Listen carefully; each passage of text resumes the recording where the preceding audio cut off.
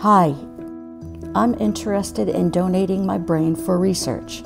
I have severe depressive Dear disorder, Brain Donor Project, generalized I'll be starting the disorder, donation application soon, even though I don't have a brain To disease. whom it may concern. It really helps me feel better This is about in regard myself. to my mom. To My able to help in schizophrenic son died last. Friday. Thank you. My greatest hope It's the stories of the people who contact us that keep us moving forward.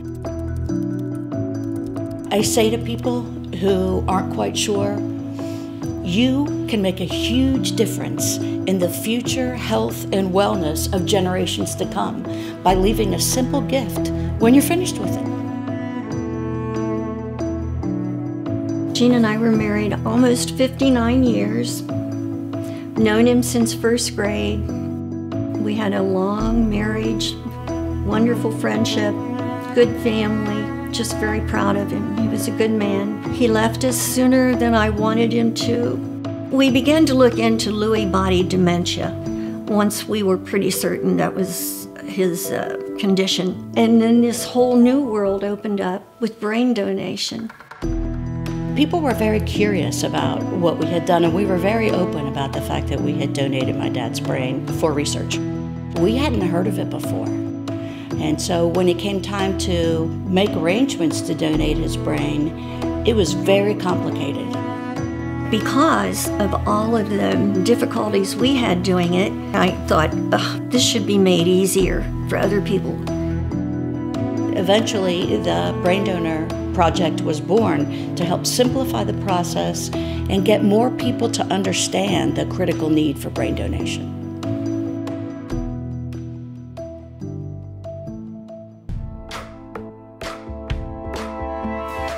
The Brain Donor Project was built exclusively to support the Neurobiobank of the National Institutes of Health. People may or may not know that brain disorders are the leading cause of disability in the United States. Access to tissue is a stumbling block for a lot of science to get done. Mental illness affects the brain at a very, very fine level. So there are all kinds of very small structures in the brain, neurons and the connections between neurons that we cannot visualize with neuroimaging, that we can't study uh, without actually looking at brain tissue.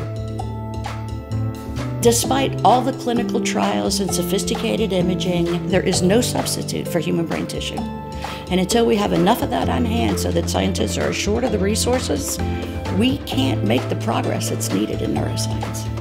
We've come a long way, but we've gone an inch and we need to go, you know, 100 miles.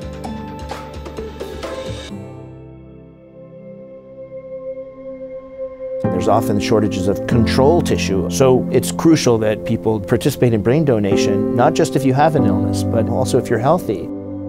This is a way of making a valuable contribution to the future of health. I know Gene would be so happy to know he's helping others. That was his whole mission in life. He would be thrilled to know that this has become his legacy. I can't help but feel strongly about this. Arranging now for a simple gift is the most selfless act you can plan for. What's to decide